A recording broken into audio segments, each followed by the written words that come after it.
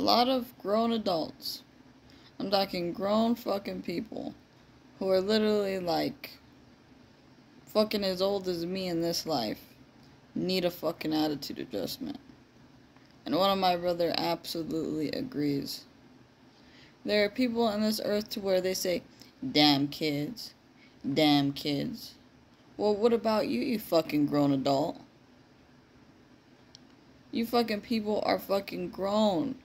You fucking have jobs, working jobs, working operating jobs. You fucking have it all together. And you have a fucking attitude. And that attitude, you fucking bring it to work and you fucking think you could do whatever the fuck you want. And it doesn't matter if you have to fucking do shit to another person. It doesn't matter if you have to fucking project. Because you're fine with it. You're fine with projecting and being the way you are. And you people always say, oh, it's the teenagers that's the problem. Well, there's still a lot of these motherfucking grown people that are still stuck, that are still, still fucking stuck as teenagers. They got fucking a body of a fucking, what is it? maybe like a 50 year old or a motherfucking no actually no i'm not gonna count 50 it's mostly people that are between their 30s and up to 45 okay maximum okay that's just like around the age okay well hey so some people in their early 20s too need an attitude adjustment okay and so there's a lot of people where it's like you need to fucking adjust your fucking attitude you have a bad fucking attitude and you're projecting onto other people. And you're gonna fucking learn, motherfucker. You're gonna learn not to fucking project and be an asshole to other people because you know what? Whatever that situation is, did nothing wrong. And you know what that situation is. You know for a fact.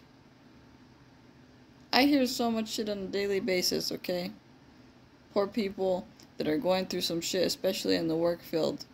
Fucking you fucking grown people that have your fucking shit together, grown adults, you fucking projecting onto other people.